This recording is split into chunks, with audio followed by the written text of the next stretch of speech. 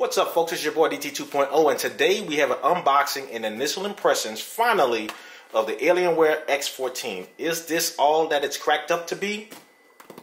Let's get it.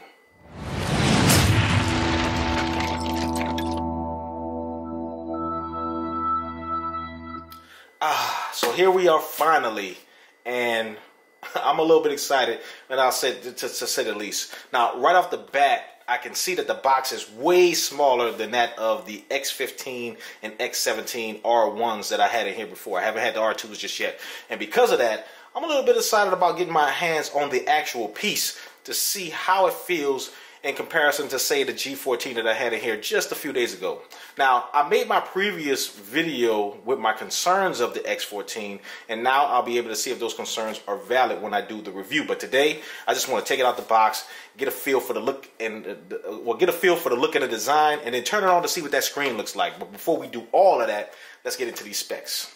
Now this thing sports the Intel Core i7 12700H, 16 gigabytes of RAM at 4800 megahertz, a 512 SSD, RTX 3050 Ti with 4 gigabytes of RAM, a 14 inch full HD display at 144 hertz with ComfortView Plus, plus uh, 3 millisecond response time, NVIDIA G-Sync, and Advanced Optimus. Now, that is a lot for a laptop of this size, but I don't want to say power because with a 3050 Ti, and there ain't a lot of gaming power inside of this because just just be real, it is what it is. But it is an Alienware, and I'm going to give it the benefit of the doubt. So let's finally take the drawers off of this. So I'm going to go ahead and open it up, and uh, just like it was with the X15 and X17, though we don't have any cushion up here at the top. Um, I guess this cushion and inside is all cardboard. And inside there's a box that's even smaller than the outside box. Now, one thing that I do, I don't want to say like, I, but I, I, guess I do like about Alienware or Dell when they send their things out. It is tightly packaged, but the one that the thing that I that, that I hate about it is they put this thing on my porch just like this. So, and I was supposed to sign for it, and they didn't even allow me to sign for it. They just placed it on my porch and ran. Now, of course, I live. I, I, I would like to say I live in a neighborhood that's honest, but there is Alienware branding on this, so I'm pretty sure if given the opportunity, some kid will pass and probably pick it up because the handle is just sitting there waiting to be grabbed. All right, so in here we have the usual, the power cable, right, and then the power brick.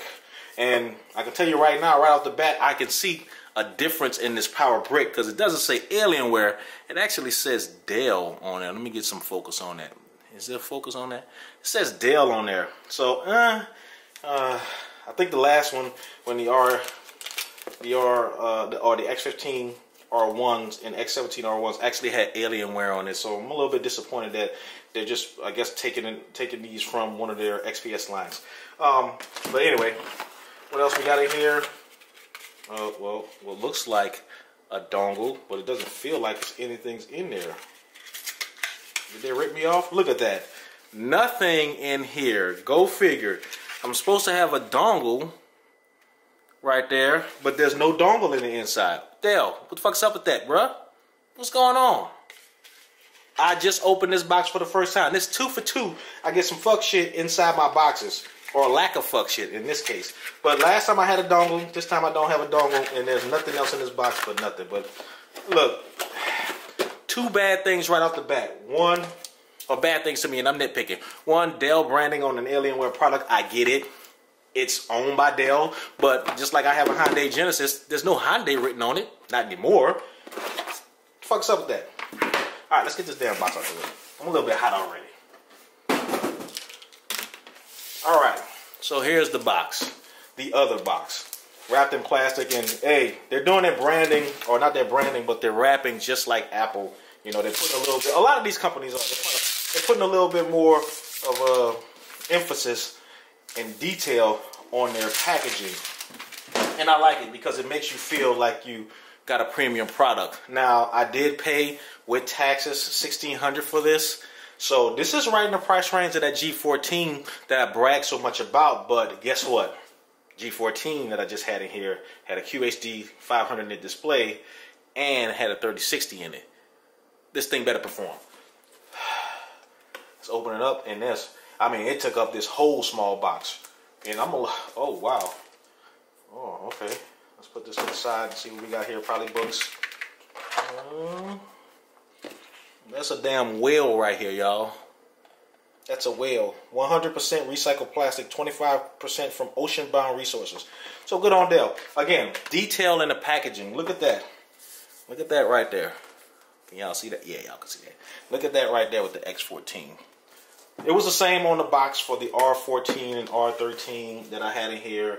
It was the same on the box for the X15 R1. So they're really putting a lot of emphasis uh, and detail in their boxing.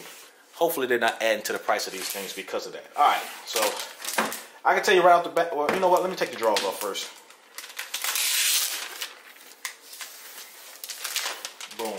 And get that out the way. Man, this thing is razor thin. Wow. Wow. That is razor thin. Oh Lord. It is and it feels solid. I, look, I'm going to go ahead and do a quick comparison with the G14. G14, though was solid, and I said it in my video, it had a little bit of flex to it. Barely any flex. This, next to none. I'm liking it already. In my concern video uh, with the design of this X14, since it's basically just a miniature X15, X17, I was a little bit disappointed that it didn't have the racetrack lighting in the back and I'm still concerned, or not concerned, but I'm still disappointed in that. But they did give me the ports that I liked, right? So let's just open it up and see what it looks like and see if it has some juice. Open it up. Oh, man, I'm kind of feeling this. I didn't think I was gonna be, uh, you know, this uh, excited about it. I'm, a, I'm, a, I'm a little bit speechless. I ain't gonna lie. All right, let's see if this thing has some juice.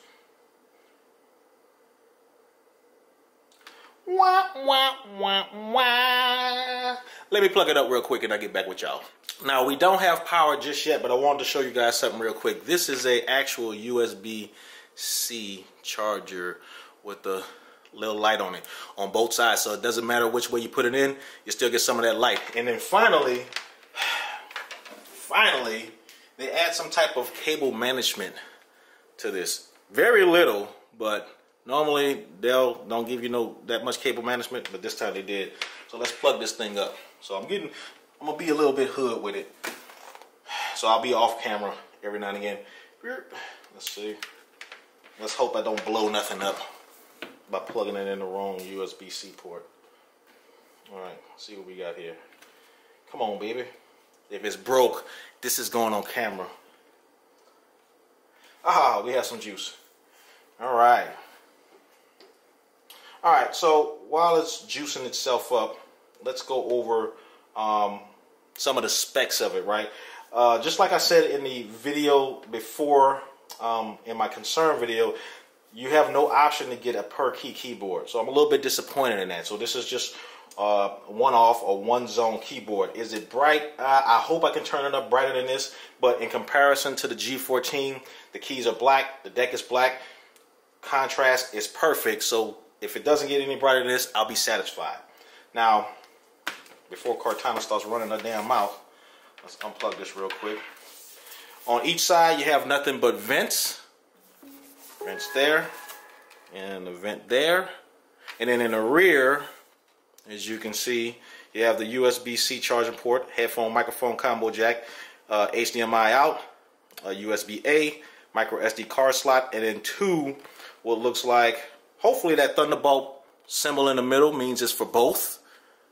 So, so you don't pick between the two, but it looks like two Thunderbolt uh, ports. So that's a good thing. I already like this thing a little bit better than the X15, to be honest with you, because the X15, for the size of it was, uh, should have had a better port selection uh, just like the X17 and the X14 should have had what the X15 has. But I'm, I'm a little bit uh, satisfied with that, and I'm satisfied that they kept the light on here. So they took the racetrack lighting away and then kept the uh, iconic head. Woo!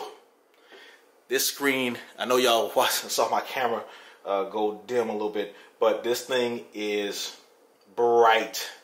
And because it's 14 inches, even though it's only only 1080p, it's still, the pixel density is still up there. So let me pause for a second and get this thing started up and give you my initial impressions. Look at a couple of videos Now I actually had to dim the screen because this screen is it looks like it's, well it looks to be extremely bright. I haven't looked up the actual uh, brightness or max brightness of the screen, but it looks to be on par with the G14 because it definitely blew out my camera, and that's why everything went to shit uh, once the screen came on. Now, a couple of other differences that we have here. It looks like we have some designs on each side, and this coating on top feels a little rubberish, right? A little bit disappointed that I don't have the uh, alien head, but I'm going to forgive them because I assume it's because of lack of space. So they integrated the power button inside of the keyboard, which we all know from previous videos, especially videos of my uh, MSI GE66 reviews, that I hate that but it does have a little bit more tactile feel, so it's not easy to press like in the in the uh, MSI GE66 versions. But um, trackpad initial impressions feels good. Um, the, again, this this deck right here feels to have a rubber coating in it, and uh, the keyboard, while it doesn't have much as much key travel as the G14, I like it because I've been a, a fan of Alienware keyboards for a long time. I love the feel of the keyboards in general, but I don't mind it having that much less. It's just a tad bit less key travel than on the G14. But in comparison, as far as design wise, I'm loving it. So let me name, name this thing and get in the inside of it. One thing that I noticed that I don't like about this uh, laptop uh, in general, or this gaming laptop, or this Alienware laptop in general, is wait for it and I'm nitpicking, but it's a valid one, is this damn shift key is small as hell. What the actual, you know what? Look at that. Look how small that shift key is in comparison to the one on the other side. That's going to take some getting used to, right? So just be mindful of that when you have, when you get one in here, it's going to take some adjustments. Minor, right? It only takes, you know, muscle memory depending on depending on how much you type on this, but it's going to take some muscle memory to get used to that small shift key. I had the same issue on the MSI GE66. Eh, I got used to it, but I, overall, I didn't like it. All right, so we're starting everything up. So to wrap this up, let's just talk about the things that I like and then the things that I don't like. Love the size. Love the keyboard. Love that this deck is rubberized and it's a little bit soft. Trackpad could be a little bit bigger, but I understand that because of the size of the computer. Love the port selection in the back that I showed you. Check. Fans, they've been running, but they haven't been that high. Don't like the power button, but I can deal with it. Now, the things that I don't like. The damn shift key. Mm, it's not doing anything, but the fans are blowing. Eh. Uh, track lighting gone. Eh, y'all couldn't put that in here? Really? Mm, 3050 Ti in the inside. And I'm again, I'm going to play some games to, to see, but I don't expect much out of that 3050. But other than that, I'm loving the size, loving the weight, the thinness, the solidness of it, and hopefully when I do when I finally do this review, we get a good outcome. This is your boy DT 2.0. Thanks for watching. Deuces.